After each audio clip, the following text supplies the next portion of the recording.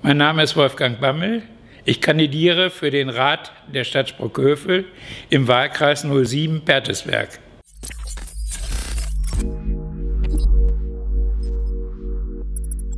Um unsere Stadt weiter voranzubringen, braucht Sprockhövel keine Träume, sondern Sachverstand und Fantasie.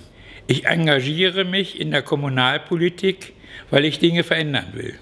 Ich will, wie bisher auch schon, für die Bereiche Verkehr, den öffentlichen Personennahverkehr und für gute Schulen eintreten. Ich engagiere mich als Sozialdemokrat in Sprockhövel, um unsere Stadt lebenswert zu erhalten. Dazu gehört es, die vorhandene Infrastruktur zu pflegen und weiterzuentwickeln und auszubauen. Gemeinsam sollten wir das schaffen. Als Hobby betreibe ich meinen Garten und mein Gewächshaus.